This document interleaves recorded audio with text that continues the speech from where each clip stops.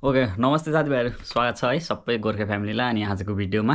अनि थम्नेल र टाइटलबाट पनि तपाईँले अलिकति के भिडियो भनेर त थाहा पाइसक्नुभयो होला। अनि अब आजको भिडियो रहेको छ पोल्यान्ड आउनलाई कति पढ्नुपर्छ पढाइ कति चाहिन्छ र उमेर उमेर पनि कति चाहिन्छ भने यो पनि धेरै क्वेसन लास्टै धेरै सोधिरहनुहुन्छ धेरैजनाले। सो तपाईँहरूलाई अब पढाइको लागि चाहिँ भन्नुपर्दा पोल्यान्ड आउँदै अथवा आउन सोच्दै हुनुहुन्छ भने पोल्यान्डको लागि अथवा अरू यस्तो यो क्रोसिया रोमानिया यिनीहरू यो यो देशहरूको लागि चाहिँ तपाईँहरू आउँदै हुनुहुन्छ भने पढाइ तपाईँलाई नभए पनि हुन्छ। तपाईँलाई जो सर्टिफिकेट आठ आठ पास भयो भने आउन मिल्छ पाँच पास भयो भने मिल्छ एउटा सर्टिफिकेट चाहिँ त्यहाँनिर हाल्न पर्ने हुन्छ। यहाँ पढ्दै नपढेको मान्छेहरू पनि धेरैजना आउनुभयो मैले धेरैजना भेटेको छु।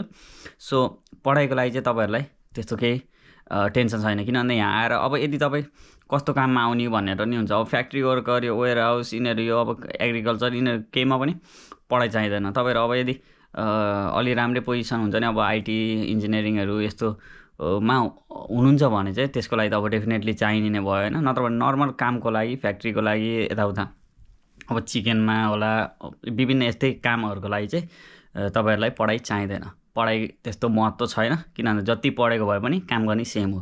तपाईँ यदि डिग्री पास गर्नुभयो भने नि अब यो अब के गरी गार्मेन्टमा आउनुभयो अथवा फ्याक्ट्रीमा कुनै फ्याक्ट्रीमा आउनुभयो भने काम एउटै लेभलमा हो तपाईँको पढाइ यति उति भनेर त्यो केही हुँदैन। तर यदि तपाईँ कम्प्युटर इन्जिनियरिङ अथवा केही यस्तो आइटी सेक्टरहरूमा हुनुहुन्छ भने चाहिँ त्यसमा चाहिँ म्याटर गर्छ। त्यसमा चाहिँ पैसा पनि राम्रो हुन्छ र त्यसमा चाहिँ अलि स्यालेरीको रेट नै फरक हुन्छ। अरू चाहिँ सबै मिनिमम स्यालेरी भन्ने हुन्छ। गभर्मेन्टले तोकेको अनुसारको त्यो अनुसारले हुन्छ। सो कसैको अलिकति एक दुई रुपियाँ बढी होला एक दुई रुपियाँ कम होला त्यो नै हो। सो पढाइको लागि चाहिँ यही नै भयो है तपाईँहरूलाई मेरो एन्सर र अर्को कुरा यो के अरे एज उमेर उमेर कति चाहिँ भएको मान्छे आउन पाइन्छ भनेर सोध्नुहुन्छ। यदि तपाईँहरू अठार वर्ष प्लस हुनुहुन्छ। अठार वर्ष चाहिँ कट्नु पऱ्यो मिनिमम अठार वर्ष कट्नु पऱ्यो माथि त तपाईँको पचास पुगोस् पचपन्न पुगोस् त्यो म्याटर गर्दैन। तर म के सल्लाह दिन्छु अब पचपन्नै पछि त सायद आउनु हुँदैन होला होइन? विदेश यहाँ काम गर्न पनि गाह्रो हुन्छ तपाईँहरूलाई किन भन्दा यताको यताकोले त गर्छन् फेरि पचपन्न साठी पैँसठी सत्तरीसम्म पनि हट्टाकट्टै चाहिँ हामीले भन्दा खतरा गरिदिन्छन् काम। तर यदि नेपालमा चाहिँ अब त्यस्तो छैन होइन नि अब पचपन्न साठी भनेको त अब रेस्ट गर्ने समय हो। पचास पनि लास्टै धेरै नै भइसक्यो हो। सो अब चालिस पैँतालिससम्म हुनुहुन्छ भने नि काम गर्नलाई सकिन्छ जे काम त अब गर्न सकिन्छ कोही कोही त अब असी वर्षको पनि कोही हजुरबाहरूले खत्रै हामीभन्दा बलियो नै हुन्छन् होइन हुनुहुन्छ। सो त्यही नै हो। अब अठार वर्ष चाहिँ कट्नु पऱ्यो म सानो अब भाइ बहिनीलाई चाहिँ के भन्छु भने तपाईँहरू यदि अठार वर्ष कट्नु भएको छ भने तपाईँहरू एप्लाई गर्न सक्नुहुन्छ पोल्यान्डको लागि। पोल्यान्ड अथवा अरू युरोपियन कन्ट्री पनि एटिन प्लस चाहिँ हुनैपर्छ है। एटिन प्लसभन्दा एटिनभन्दा तल हुनुहुन्छ भने चाहिँ वर्किङको लागि चाहिँ तपाईँहरू आउन मिल्दैन। सो अनि अर्को अब माथिको लागि भनेको त्यही मैले भनि नै हालेँ है। सो यो भिडियो चाहिँ तपाईँहरूलाई मैले यही के अरे पढाइ र यो अर्को मैले के भने एजुकेसन यो दुइटाको बारेमा थोरै छोटोमा तिन चार मिनटमा तपाईँलाई भने। सो ती यो छोटो छोटो भिडियो मैले आजकल डेली बनाएको छु। सो तपाईँहरूलाई राम्रो पनि लाग्यो होला तपाईँहरूको टाइम वेस्ट नभओस् भनेर म पनि धेरै एडिट पनि गर्न नपरोस् छिट्टो फ्याट्टा इन्फर्मेसन दिउँ भनेर नै बनाएको। अनि यो भिडियोमा मैले यो लास्टमा एउटा कमेडी हालेको छु होइन यहाँ काममा। के भएको थियो अनिसको कानमा इयरफोनको त्यो डल्लो अड्केको थियो। सो त्यो भिडियो हेर्नु होला है त। त्योभन्दा अगाडि एउटा रिक्वेस्ट गर्न चाहन्छु सबैजनालाई। यदि तपाईँहरू नयाँ हुनुहुन्छ भने च्यानललाई सब्सक्राइब गरिदिनु होला। भिडियो मन पऱ्यो भने लाइक गरिदिनु होला। अनि अरू के जिज्ञासाहरू छ यस्तो के भिडियो बनाऊँ त्यो पनि कमेन्ट गरिदिनु होला। त्यो भयो भने मलाई सजिलो हुन्छ। अलिक धेरै जे आयो त्यो भिडियोमा चाहिँ म तपाईँहरूलाई त्यसको चाहिँ अर्को भिडियो बनाउनलाई मलाई सजिलो हुन्छ के बारेमा मान्छेहरूलाई इच्छा छ बुझ्नको लागि। यस्तै यस्तै कुरा म फेरि तपाईँहरूलाई मेन पावर खोज्दिनँ अब डेट लिँदिनँ भनेर चाहिँ मेरो अहिले त्यस्तो केही पनि त्यस्तो छैन। यदि भयो भने भनौँला यदि मसँग कोही लिङ्क आयो भने यताउता भने म त्यो पक्कै पनि भिडियोमा भनि नै हाल्छु। तर अहिलेको लागि चाहिँ त्यस्तो छैन।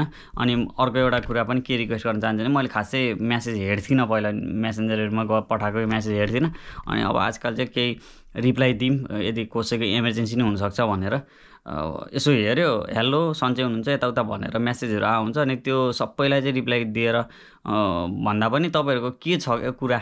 सर्लक्क डिस्क्राइब गरेर गरिदिनु भयो भने चाहिँ ल यो कुरा यस्तो रहेछ मलाई थाहा छ भने म भनिदिउँ भन्ने हुन्छ। अब च्याटै गरेर बस्न चाहिँ आइ म एकदम धेरै सरी भन्न चाहन्छु। त्यो चाहिँ मैले नभ्याउने भएर भ्याउँदा पनि भ्याउँदिनँ। अनि कसै कसैलाई रिप्लाई दियो अनि सिधै अब कहिले नाइटमा सुतिरहेको हुन्छ कहिले डे नाइट ड्युटी गरेर डेमा सुतिरहेको हुन्छ सिधै कल गरिदिनुहुन्छ। अनि त्यो कारणले गर्दा एकचोटि निन्द्रा बिउजेपछि फेरि निदाउनु यति गाह्रो हुन्छ डे ड्युटी नाइट ड्युटी भएर डेमा सुतेको बेला। सो त्यो कुराहरू हजुरहरूलाई थाहा नभएर नि होला होइन? तर यहाँ चाहिँ गाह्रो हुने भएर मैले त्यही भएर म्यासेज नै नहेर्ने कारण त्यो सो जे हुन्छ कमेन्टमा आउँछ त्यो कमेन्ट अनुसारकै भिडियो बनाउँछु भनेर मैले पहिलेबाट सोचेको। सो म चाहिँ के भन्छु भने तपाईँलाई कमेन्टमै गर्नु होला। म चाहिँ त्यही अनुसारले प्रायोरिटी भएको अलिकति धेरै क्वेसन आएकोहरूको चाहिँ भिडियो बनाउँछु। सो अब चाहिँ एउटा कमेडी भिडियो छ। फन्नी लास्टै हाँसो लाग्ने टाइपको छ। का काम गर्दा गर्दै आज घटेको घटना। सो त्यो हेर्नु होला अनि यो भिडियो चाहिँ त्यहाँबाट इन्ड गर इन्ड हुन्छ है त। त्यो भिडियो चाहिँ हेर्नु होला। लास्टै फन्नी छ। एउटा होइन? थ्याङ्क यू सो मच अनि त्यही हो सब्सक्राइब पनि गर्नु होला है त्यो चाहिँ नबिर्सिनु होला फ्री हो सब्सक्राइब गर्न पैसा लाग्दैन। कृपया सब्सक्राइब गरिदिनु भयो भने चाहिँ अझै भिडियो बनाउनुलाई मजा लाग्छ कि मन लाग्छ भनौँ न। So thank you Gorkhe family है त। त्यो भिडियो हेर्नु होला है त अब चाहिँ थ्री टू वान पढ्न पहिला देखाउने भनेर साथीभाइहरू। यो कान पढ्नु कानभित्रै इयरफोनको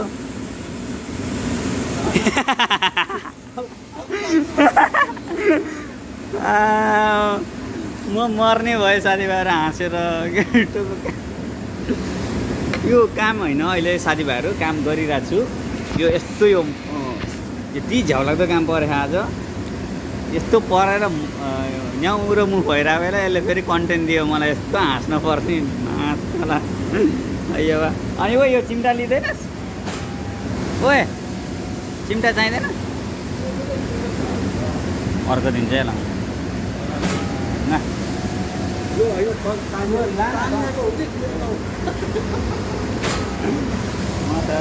यो अलिकति अप्ठ्यारो खालको छ कि?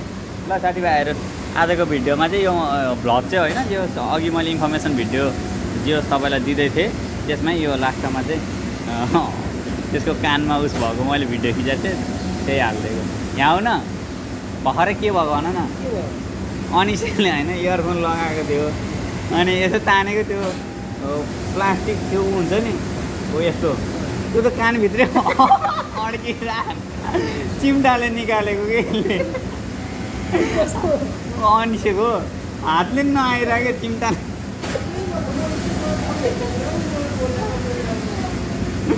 ला कमेडी लाएर त ल साथीभाइहरू धन्यवाद।